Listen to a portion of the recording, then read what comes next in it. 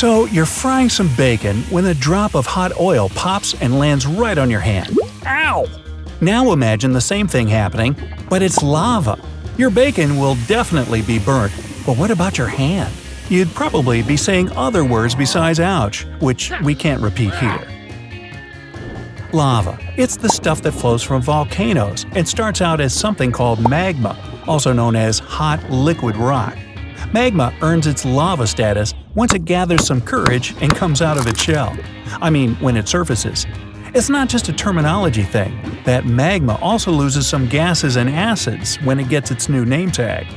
So, exactly how hot is this stuff? Well, that depends on how fresh it is. Lava here! Get your fresh hot lava right here! I'll take some lava! It's hottest when it first erupts from underground and cools down as it flows. You can make an educated guess of its temperature based on the color. Lava Temp 101. The brighter, the hotter. It starts out bright orange and burning at about 2000 degrees Fahrenheit. Then it cools down to bright red, about 1600 degrees, dark red, 1300 degrees, brownish red, 1000 degrees, and finally black when it's hardened. 2000 degrees. Think of the hottest day you could ever bear. What was it, 100 something outside? Multiply that by 20, and now imagine a drop of it falling on your hand. Ooh. Now put it this way. Let's say your cat-like reflexes pulls your arm away before the lava can make contact. Well, it just continue its gravity-driven journey and burn through your floor, and maybe drip-dropping through the neighbor's ceiling and floor below. Though remember, this stuff is liquid rock, and it cools down when it's not 100 miles below the surface of the Earth. You'd still have a fire to deal with, so grab the extinguisher fast. Wait, where'd you get this lava anyway?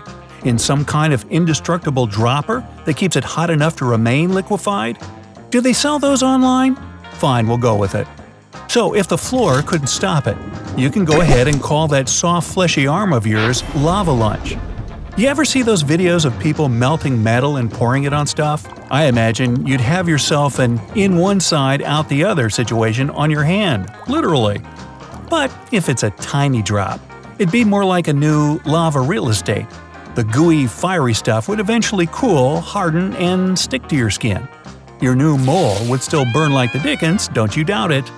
But here's the good news. You wouldn't feel the scorching pain, at least not right away. Your nerves would be burnt before you have that time to react. The takeaway? Never ever touch lava. But you know that.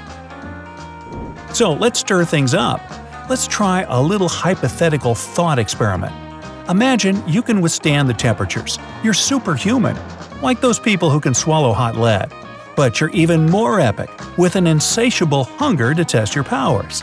Even when you were little, you always liked food with a kick. You could eat the hottest buffalo wings in the city. While grown adults were reaching for that glass of milk after a couple bites, you were asking for more hot sauce. As a teen, you could drink the hottest hot sauce like water. As for actual water, you could chug it from a boiling pot. Doctors couldn't explain your abilities. You're a phenomenon. You make headlines. Your journey continued. After college, you decide to find the hottest pepper on the planet, the Carolina Reaper. This pepper has been known to send people to the hospital. It can literally burn your tongue. These horror stories only attract you, so you book a ticket to South Carolina immediately. You arrive at a local plantation, and the farmer gives you the ripest, reddest, hottest pepper he's got. You take a deep breath, bite off half, and nothing. You don't feel the spice, only a sweet taste. Confused and upset, you eat a few more of the red, wrinkly peppers, but still feel nothing.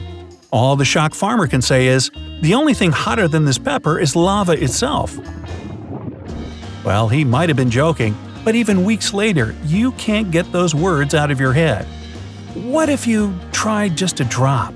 Would lava be your perfect hot sauce? The one you've searched for your whole life? Your curiosity brings you to Hawaii, home of the most active volcano in the world, Kilauea. Red hot lava flows from it all the time, like tentacles of fiery rivers reaching out in all directions.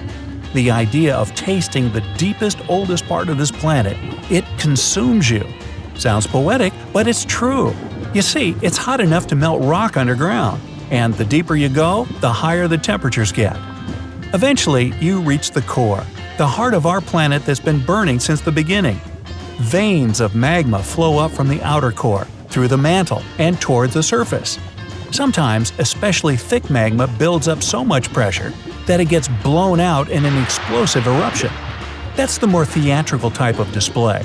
There are also effusive eruptions, where thin, runny lava just slowly and quietly oozes out. Yeah, not as exciting. Anyway, it's time to taste Kilauea.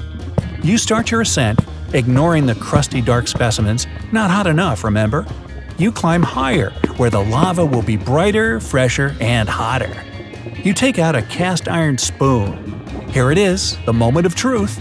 You scoop up a small amount of lava, feel its heat, and let a couple drops fall into your mouth. Oh yeah, it's really hot, you finally feel it. But what a disgusting taste! Like eating rocks. Yuck.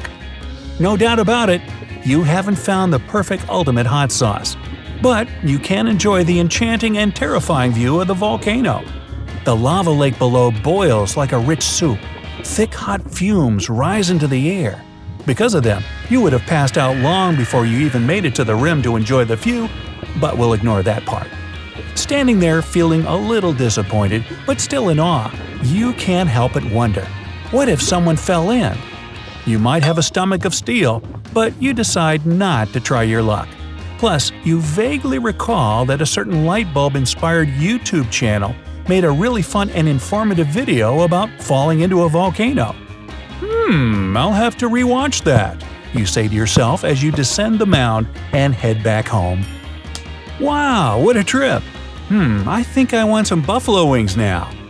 Anyway, if you learned something new today or had a good time along the way, then give the video a like and share it with a friend.